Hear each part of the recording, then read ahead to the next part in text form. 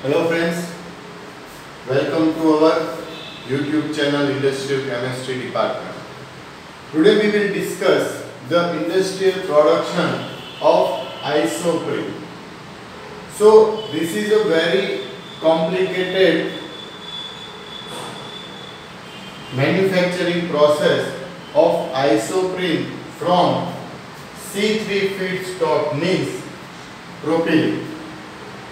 So in this process we also have to discuss dimerization process and isomerization process.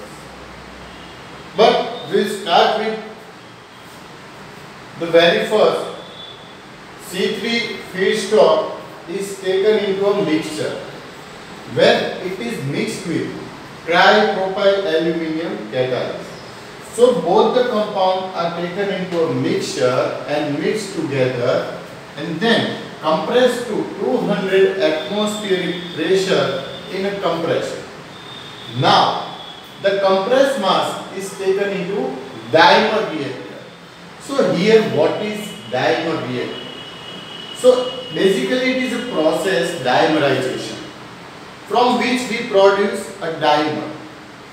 So again the question is saying what is dimerization process? So basically dimerization is a process in which a compound is formed from two same kind of molecules. Compound is formed from two same kind of molecules. So here according to the process two propylene molecules are attached with each, each other in the presence of tripropyl aluminium catalyst at 150 to 200 degrees Celsius. Then it forms 2 methyl 1 pentene. 2 methyl 1 pentene is formed. Again two molecules of propylene reacts each other in the presence of catalyst at 150 to 200 degrees Celsius, then it forms 2-methyl 1-pentane. So this is a dimer. Okay. And the process is called dimerization. So now, here dimer is formed but it contains number of other compounds or impurities or unreacted compounds of C1, C2 and C3. So first of all, take the whole mass into flash tower where heating is provided by external heat exchanger. And heated mass is then taken into C1, C2 tower. Here in this C1, C2 tower, methane and ethane or ethene, if the mass contained, then it will be discharged from the top of the tower as light end. And remaining mass is further transferred to C3 tower. Here, unreacted C3 compound is discharged from the top and recycled to the feedstock storage. Now, after removing of unreacted or impurity based compound, the mass is charged into a dimer storage where 2-methyl 1-pentane is stored. Now, 2-methyl 1-pentane is further taken into isomer reactor. Here reaction takes place in the presence of acid catalyst at 150 to 300 degrees Celsius temperature. So basically again what is isomer? What is isomerization process? So basically isomerization is nothing but the same molecule of a octane compound or monomer compound both are same in molecular weight and molecular formula but the only difference is in the arrangement of chemical bodies. So here, due to isomerization, we get 2-methyl 2-pentene.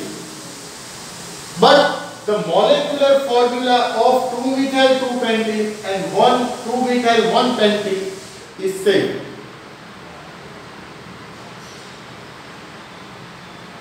Molecular weight also remains same. But the structural rearrangement takes place. So 2-methyl 2-pentene is the isomer of 2-methyl 1-pentene. Again, both the compounds are in same molecular formula, in same molecular weight, but the only difference is in the arrangement of the chemical formula or chemical compound. So that's why this is 2-methyl 1-pentene and this is 2-methyl 2-pentene. Now, the reacted mass isomer is taken into splitter and from here some of the unreacted mass is discharged from this uh, splitter and 2-methyl 2-pentene is charged into a pyrolysis furnace. So again in this process another process here pyrolysis. So what is pyrolysis? Basically, pyrolysis is the process in which transformation of a compound with heat treatment. Here we also use HBr. So 2-methyl 2-pentene is pyrolyzed in this furnace at 650 degree to 800 degree Celsius temperature in the presence of HBr. So it is pyrolyzed into isoprene. Now the whole mass is transferred into a quenching tower. So this is a basically quencher. We can also say quench tower. Okay. So here cooling takes place. So basically this is a cooler and cooling is generated by quenching fluid. So quench fluid is introduced from the top, temperature of the tower decrease so the mass which is which comes from the pyrolysis furnace cool down. And then it is charged into C1 tower. If the compound contains C1 as impurity, methane as impurity then it is discharged from this C1 tower. And remaining mass is charged into further purification tower. Here purification rectification takes place so that we get isoprene in its pure form stored into a suitable storage. So this is a flow sheet and industrial process, industrially manufactured process of isoprene. We'll discuss again. સૌથી પહેલા C3 feed stock પર content કરે છે C1 કે C2 compound એને આપણે લઈએ છીએ મિક્સચર મિક્સચરની અંદર એ મિક્સ થશે ટ્રાઇપ્રોપાઇલ એલ્યુમિનિયમ કેટાલિસ્ટ કેટાલિસ્ટ અને C3 ફીડ સ્ટોકનું નું મિક્સચર છે એ બે 200 એટમોસ્ફિયરિક પ્રેશરે કમ્પ્રેસ થશે. અને ડાયમર રિએક્ટર ની અંદર આપણે લઈશું સો પહેલી વસ્તુ તો ડાયમર રિએક્ટર શું છે તો કે અહીંયા ડાયમર બને છે ડાયમરાઇઝેશન પ્રોસેસ થાય જો આ આખી પ્રોસેસ ની અંદર આપણે ત્રણ બીજી પ્રોસેસ ભણવાના છીએ એક ડાયમરાઇઝેશન છે બીજું છે આઇસોમરાઇઝેશન છે અને ત્રીજું છે પાયરોલિસિસ એટલે બહુ ધ્યાનથી સમજજો તમને આગળ ઉપયોગમાં આવશે ડાયમર જ્યારે બે સેમ કાઇન્ડ ઓફ કમ્પાઉન્ડ આપણે કીધા ધારો કે બે અહીંયા C3 ફીડ સ્ટોક છે, તો આપણી પાસે બે પ્રોપેલિન છે સમજો.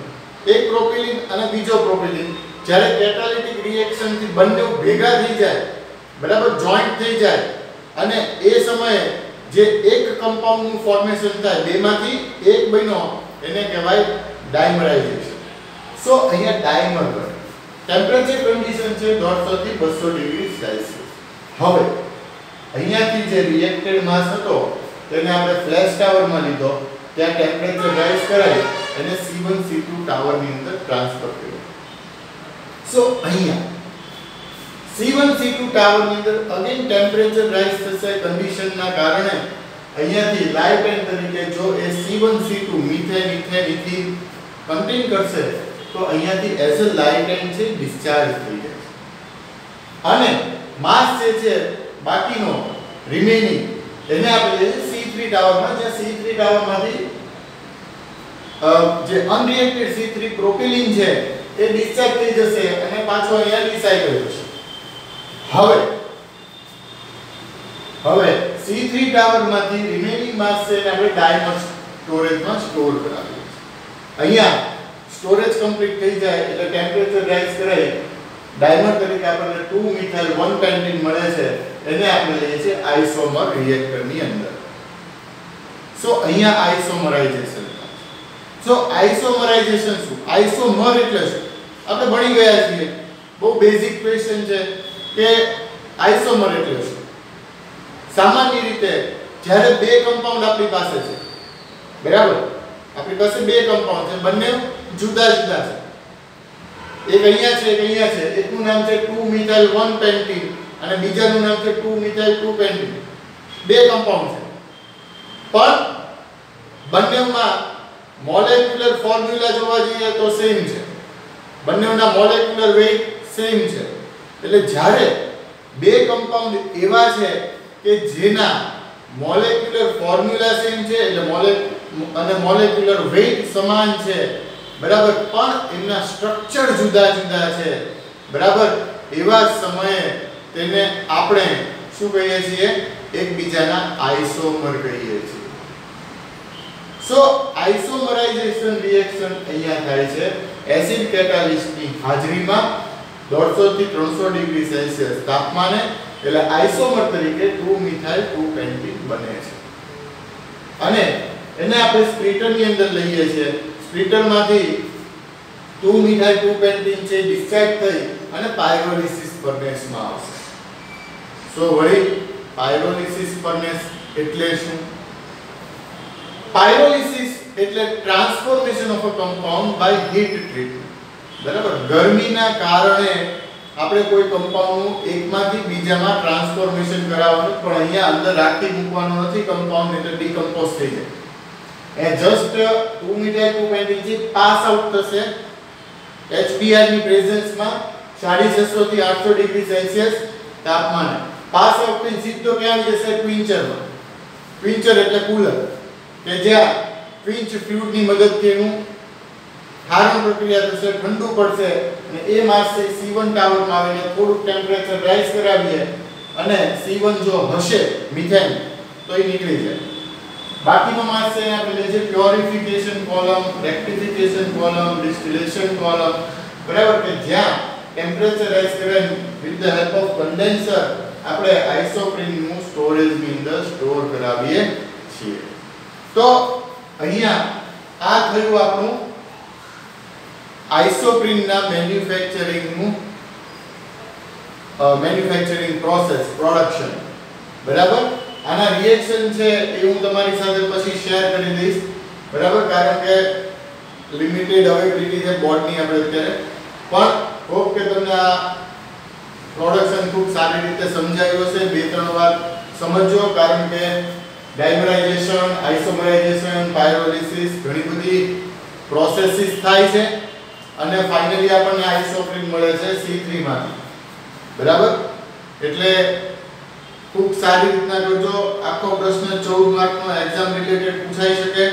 So very important for your examination અહીંયા આજે આપણે આટલું રાખીએ છીએ. નેક્સ્ટ લેક્ચરમાં આપણે આગળ વધીશું. Thank you